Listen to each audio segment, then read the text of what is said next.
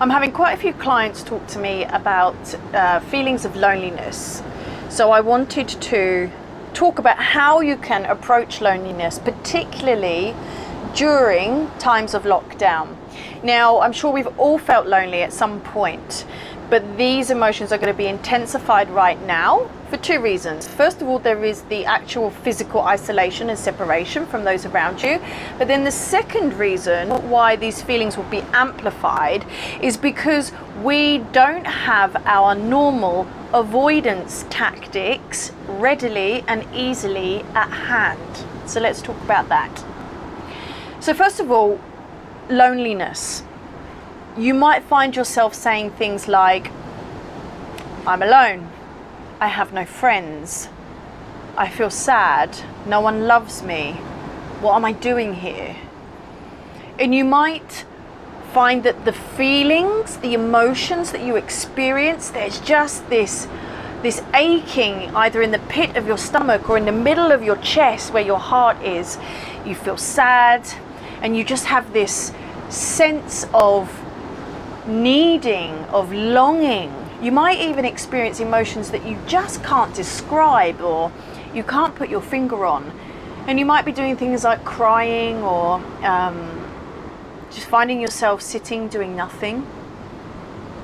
Now, during normal times, when we experience this, the likelihood is that we will go to one of our avoidance tactics. And it's going to differ depending on who you are, right? You might drink alcohol, organize a night out with your friends, uh, maybe you call some friends, maybe you get on a dating app, maybe you go on date and you might sleep with said date. You might even lower your standards just because you do not feel lonely. You might eat bad food, uh, maybe you watch a load of TV, um, what else did I used to do? um, yeah, you know, there's so many things. Go to the gym a lot. Maybe you throw yourself into work. Anything to just not feel this loneliness because it's too painful to feel. But when we reach for one of these avoidance tactics, it doesn't actually help us deal with the loneliness itself. It doesn't help us heal the loneliness. All it does is mask the loneliness. It puts that plaster on top, and the loneliness remains stuck in our bodies. So, what do I mean by that? Okay, so loneliness is an emotion, it is an energy that is asking to be experienced.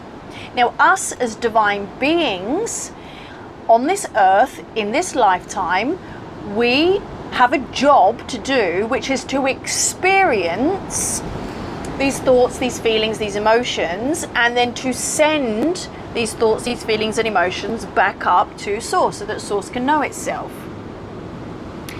It's our ego that then judges these emotions as either good or bad, but ultimately, from a state of pure awareness, from a state of observation, these emotions are just energy emotion. They are neither good nor they are bad. They just are.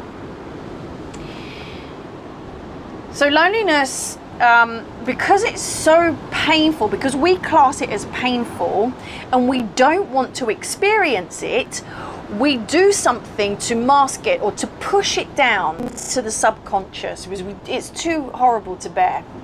And when we do this, this emotion then becomes stuck in our body. It actually gets stuck in our DNA, in our cells. And then when this emotion or this energy emotion becomes stuck, it's then left in our body and every now and again it will reappear or it will reaffirm itself to make to it's trying to make itself known. It's trying to be experienced. But we're pushing it down pushing it down and pushing it down.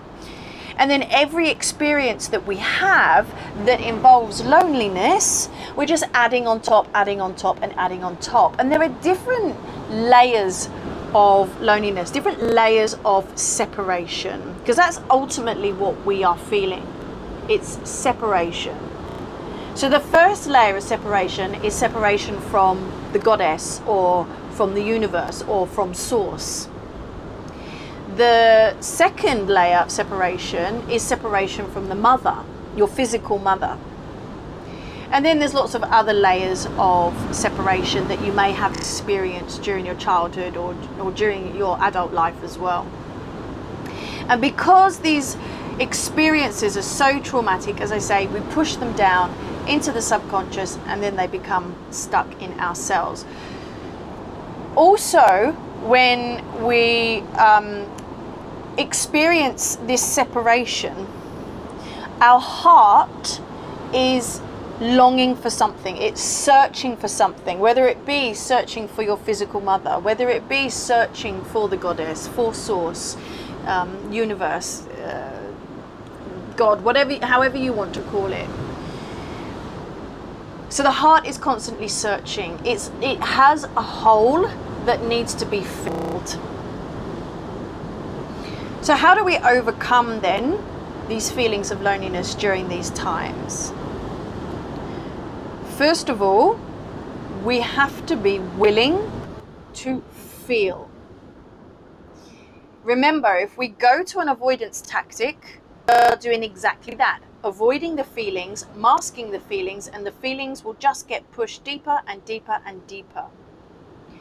We have to be willing to feel lonely. There's a bit of a paradox going on here, right? You know, the first thing you do when you feel lonely is you go and do something that stops the feeling of loneliness. You go and find people or you go and do something that takes your mind off it. This does not help. Temporarily, it might help, but.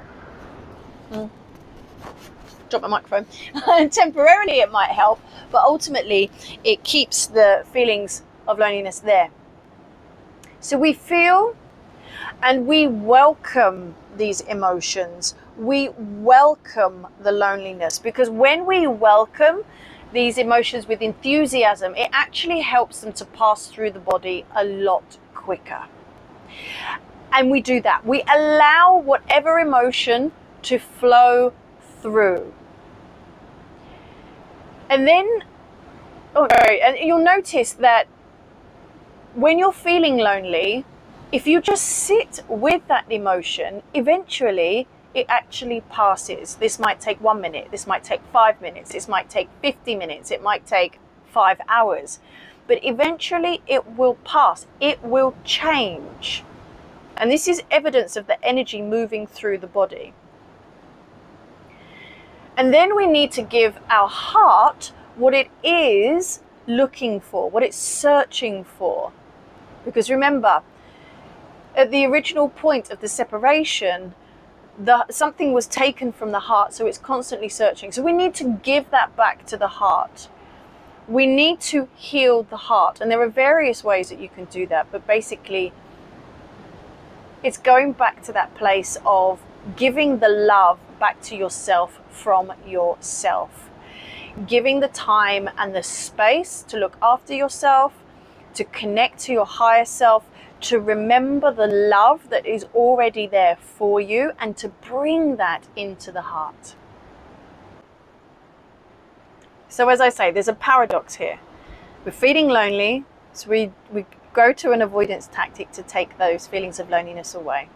But what we really need to do is to actually go into the loneliness and to travel into the heart and to give back to the heart what it is that it's looking for. Thank you for listening. Please uh, make sure that you subscribe to my channel and you click the bell so that you get notifications of whenever I uh, do another Coffee with Carrie or any other type of video. You can follow me on Facebook at Bright Wellbeing. You can follow me on Instagram at Bright Wellbeing. You can also join my Facebook group uh, called The Real Life Yogis, where we talk about yoga in real life. So, what does it look like? What does it sound like? What does it feel like? How do we actually do it? It's been wonderful talking to you today. I wish you a wonderful and glorious day. Thank you.